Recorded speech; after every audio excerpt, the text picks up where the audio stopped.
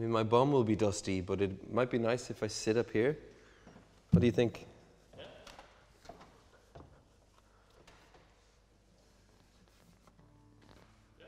Yeah? Just don't want to break this wood. It's like 300 years old. it's safe. But will you have a nice view? And is the volume okay? Yeah? Okay. Okay, man, here we go. this is my only way of avoiding the statues. It's, I have a very dirty, I'm not going to say. you use that as the intro.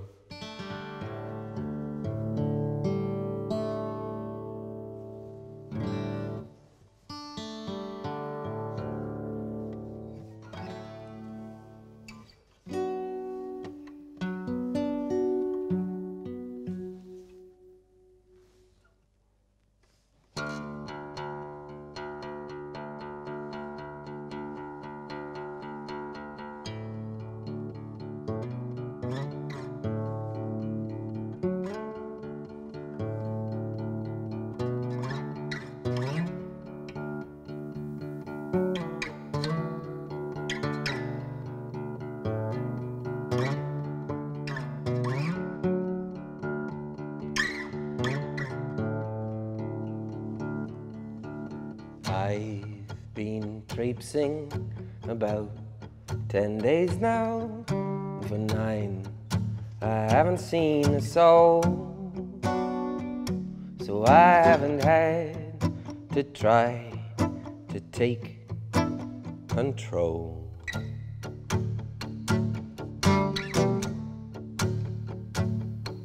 There was a lot being said in the last place I passed through. Sermons and sentences lasting the length of my stay. And that's why I stole away.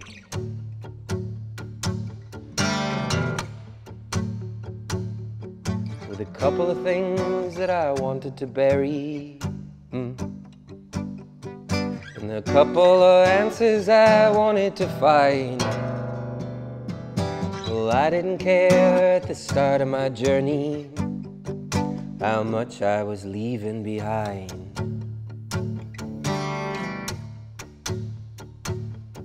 And the old road signs that had lined my journey today seem few and far between. And they've been replaced with glacial lakes and the mountains I traipse between.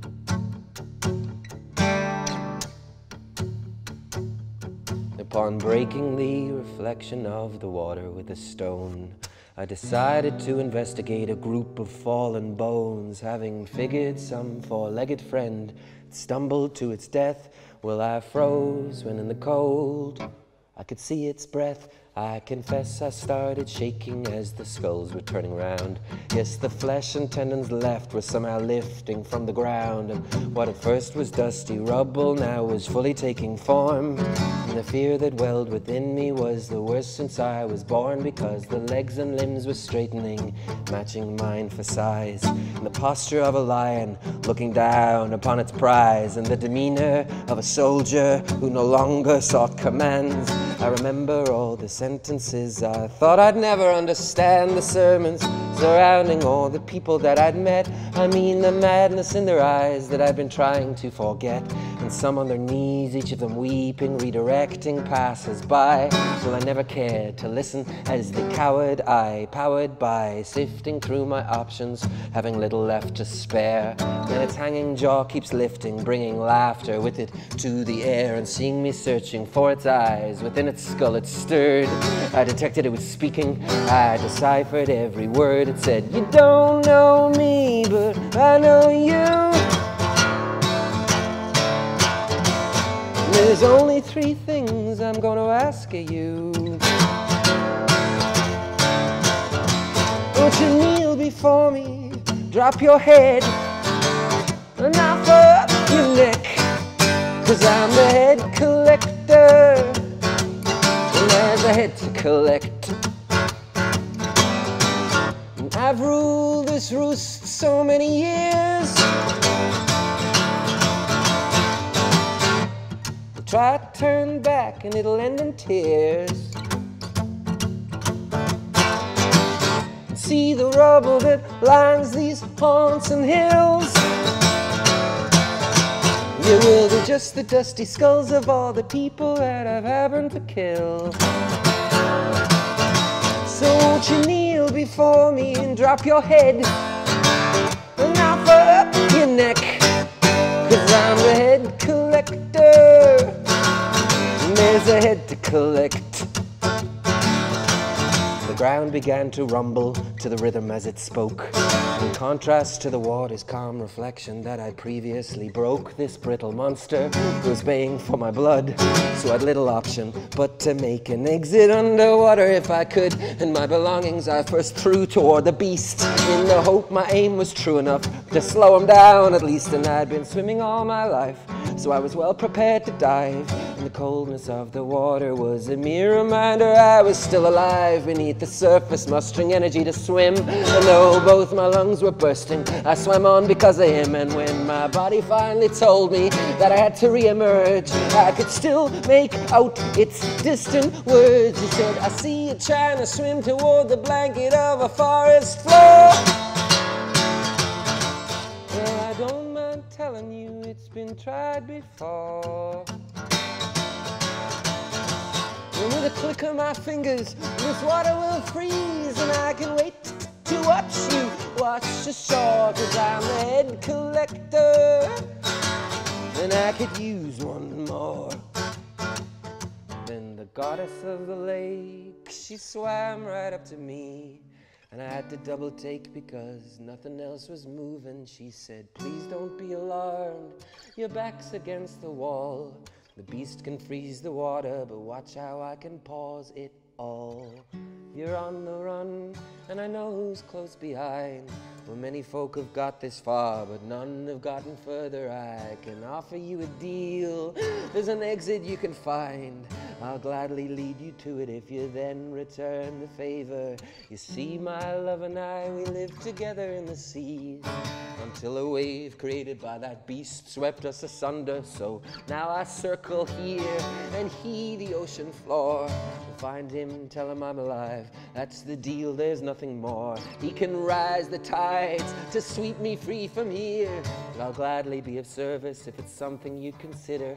Won't you take this shell from me and keep it in your hand? He'll understand he sent you once you wade into the water.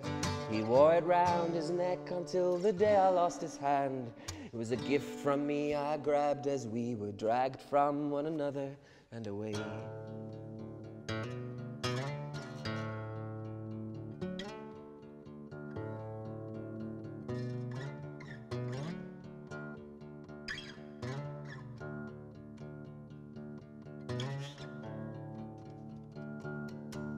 Well, dried down, I found the day still frozen, a clause I'd overlooked it seemed.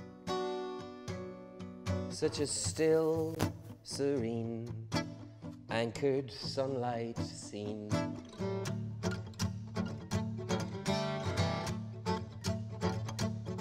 Well, I didn't dare pause or look back at my partner, tightening the grip on the shell that I kept in my hand. I set off overland.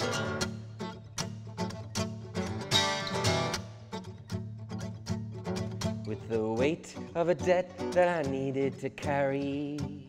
Hmm. Well, I couldn't forget who I promised to save. Hastening my step, I took on my journey towards the ocean waves.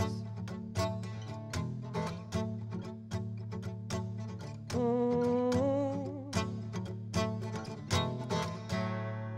I saw running horses stood like statues, mid-flight birds in a V-shaped pose. I saw rooms of gold and untold riches, but I didn't stop for any of those. I took still life fruit from a passing orchard, no marked keep out. The dogs didn't blink, and when I, I cut the chains cause their necks looked tortured. I felt bad about the incident.